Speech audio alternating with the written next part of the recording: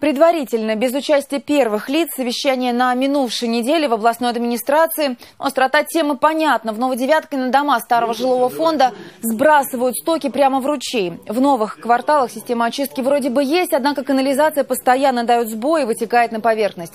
С водоканалом переговоры велись еще в прошлом году. Предполагалось, область реконструирует свою канализационно-насосную станцию и построит две напорные линии до границы Петербурга. Ну, вот почему-то не срослось. Видимо, стороны не сошлись в деньгах. Но если договоренности форума ничего не изменит, в 47-м регионе теперь склоняются к другому варианту – строить собственную станцию очистки в Новодевяткино. К выводам мы пришли следующим.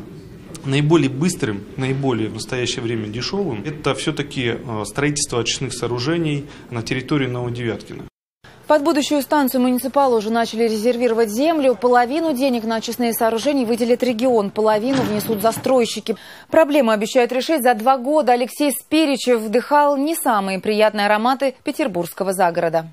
Вот смотрите, наша канализация, потрясающий запах и вид.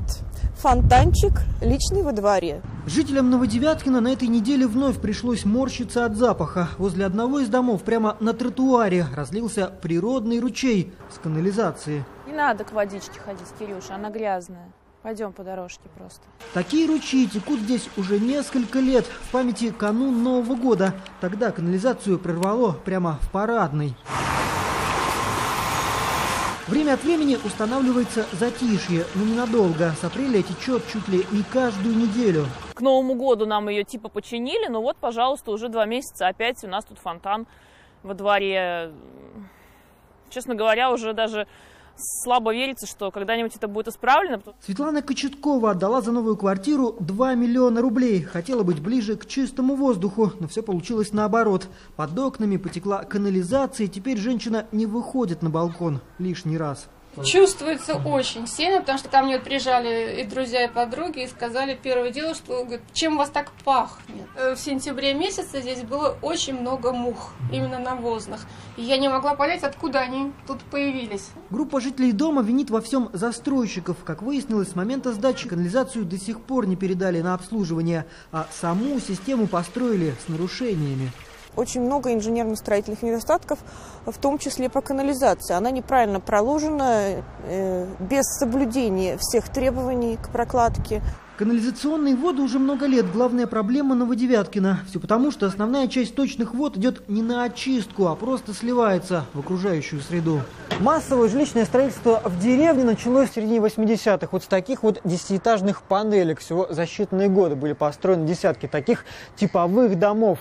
Большую многоэтажную деревню почему-то решили обделить цивилизованной системой очистки. Все сточные воды изначально стекались в Капральев ручей. Оттуда канализация деревни попадала в Охту, а из Охты прямо в Неву. Спустя 30 лет ситуация никак не изменилась. Сток вот сюда попадает, и вот так вот по рельефу, вот оно все идет у нас э, в Капралев ручей.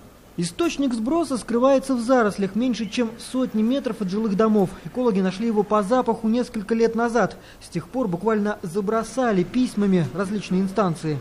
Здесь были проведены пробы, были, было показано превышение загрязняющих веществ, вы, выданы соответствующие иски в суд об обязании администрации эту ситуацию ликвидировать. На, на данный момент мы видим, что никаких мер э, существенных не принято. По словам местных чиновников, сегодня в ручей попадают около трех тысяч кубов сточных вод. Система очистки пытаются построить деревню уже седьмой год. В неудачных попытках винят бывшего главу Всеволожского района Александра Соболенко, который почему-то отказывался выделять землю. Дело даже дошло до суда. Долго, несколько инстанций прошли. В конечном итоге суд нам сказал, что это право района предоставить земельный участок, а не обязанность. Мы не успокоились, мы приняли решение Совета депутатов о резервировании данного земельного участка для строительства очистных сооружений. Опять же, Соболенко оспорил это решение Совета депутатов в суде. Окончательное решение о выборе метода канализирования деревни будет принято в середине июля. По словам чиновников, на реализацию понадобится около двух лет. Тем временем сами жители требуют освободить их от платежей за канализацию. Активисты 40 домов уже подали иск в суд. Свои действия аргументируют законом. Он гласит, сборы за канализацию возможны только при наличии системы очистки, а их в деревне пока нет. Алексей Спиричев, Константин Веревкин, Виктор Туров и Антон Пашукевич. Ленинградское время.